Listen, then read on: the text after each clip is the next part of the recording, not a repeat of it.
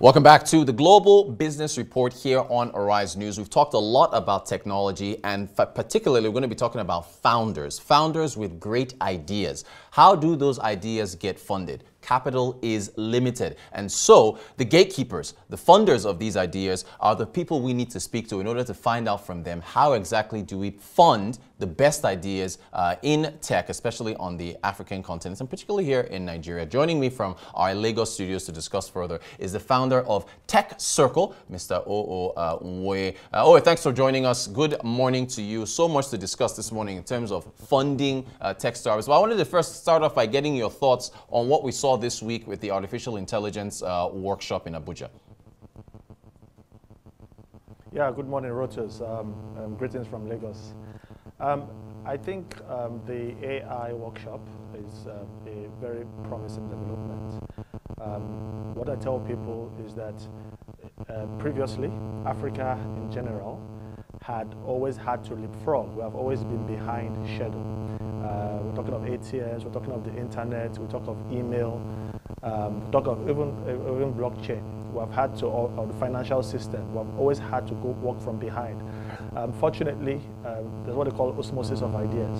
Fortunately, this time around, um, as the AI, the AI, um, let's say the AI race has begun, um, Nigeria is aware and ready to start. So I normally tell people I don't want to leapfrog. Let's let's walk let's walk let's walk side by side. No more leapfrogging. So um, this type of pro programs would align allow everyone have it top of mind.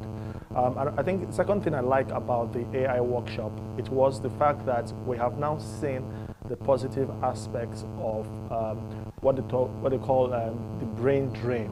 You know, I'm, I'm, one of the proponents of encouraging more people to travel, more people should go out. And, and what we have seen is that, what we have seen is that the people that helped with these workshops are people from the diaspora right? So it's, um, it's, it shows or it signals what would happen in future, whereby we would have a lot of technology or skills that would, um, will be brought back home when the time arises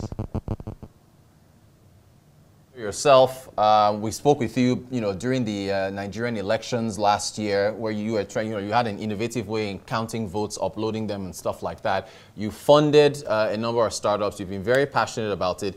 Uh, I think you have a pitch to win accelerator coming up. How can we ensure the best ideas are funded with limited resources? So um, Pitch to Win is a startup competition that started a, a while ago. It helped, is a mechanism to help identify the most promising startups in the market. Um, it started when um, one of the earliest investors in Paystack, his name is Hiro Mashita, um, he said he wanted to know, he wanted to invest in more of Paystack. And I was like, there was no way to know the next big thing. And so we decided to put together um, Pitch to Win, um, which is happening um, this year again in June. And the whole idea is we have to find a way to encourage people in the earliest of stages. I'm not one to admit um, a lot of jealousy, but I will tell you that anytime I hear of a startup that um, that is applying to YC, and the first time I'm here, I hear about them that are applying to YC, I now say, ah, that means I'm doing something wrong here because if someone in San Francisco is learning about our most brilliant um, founders before us that are supposed to be on ground, then something is wrong somewhere.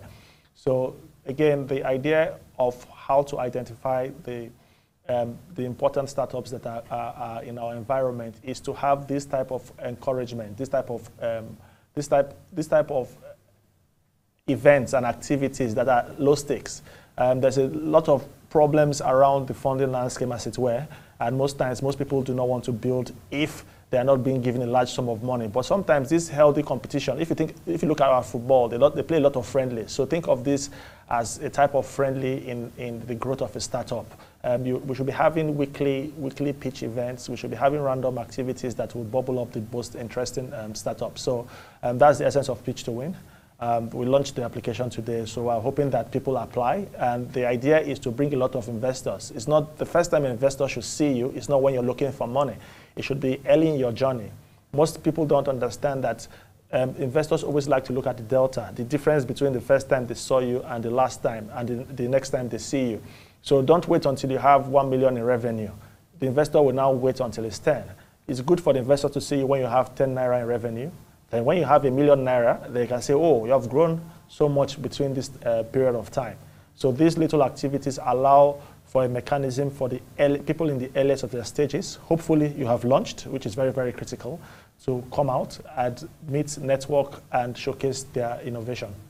All right, so speaking of innovation, we've have infrastructure issues like power. We had a viral video where I was giving an update from the AI workshop and the lights went out. Um, can we walk and chew gum at the same time in your view? Can we chase innovation while attending to infrastructure issues? And then also, what excites you? What are you hoping to, what kind of pitches are you hoping to see? What are, are young entrepreneurs in the tech space startup, are they, you know, are they providing practical solutions to our problems? Um, yes. Um, so as regards um, NEPA, you know, um, if NEPA doesn't take light, you don't know it's a Nigerian event, and it's a good reminder of the situation of things. But we should understand that technology doesn't exist in a vacuum. Te technology ensures that processes are more efficient. So Yes, it's very AI is very relevant. So today we are wondering how do you manage demand, or how do you communicate with consumers at scale? So yes, if if we do not know how to ensure, I was talking to a business today and I was asking, they said, oh, diesel is so expensive. I'm sure you're familiar with who I was talking to. um, and diesel is so expensive. I'm asking, okay, how do you understand your energy consumption? How much do you consume? How much do you need? can you have um, what do you call it, an energy mix of um, solar, diesel, and um, hopefully band A um, um, electricity? And the person wasn't too aware. AI can solve this because with A, because when you get the data over a period of time of how much you're consuming, how much um, electricity or how much power is available at a particular period when the sun is at its maximum, then you could use machine learning, artificial intelligence to automate switch between different energy sources. So yes, we can chew gum at the same time and walk and if possibly skip at the same time. So uh, it's not either or. Now, I understand where people think it's a misplaced priority when you are only focused on one. Because again, technology is as good as the people involved. So if you're supposed to be collecting data for power consumption and someone unplugs it, or someone steals the server, then there's limits to what AI can do. But of course, AI can ensure that you would have your uh, webcams and you can be able to do image recognition. So yes, it's very important that we should be thinking of how to apply technology to these problems. And this brings me to your second question as what ideas we're looking for. We're not looking for ideas, we're looking for solutions to problems.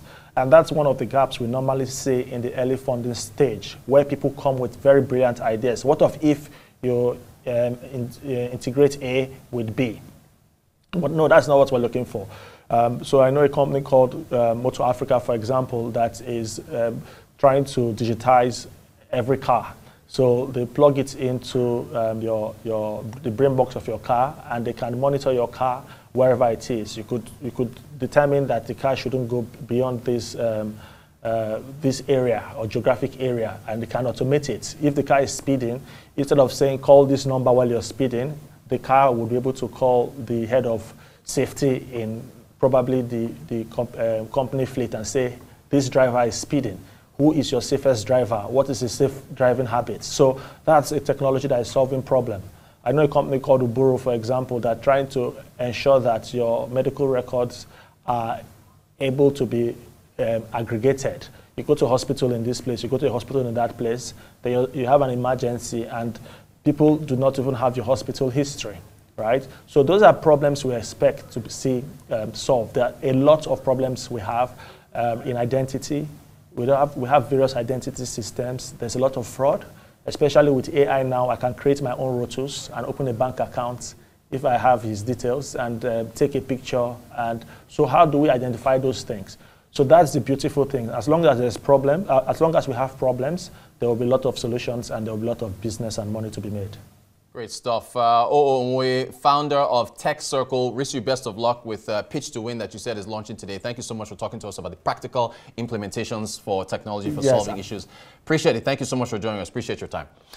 Uh, that's going to do it for the Global Business Report. Do stay tuned to Arise News. From all of us, thank you so much for watching. Thanks for your company. I'm Rotu Soduri. Do stay tuned to the Arise News channel.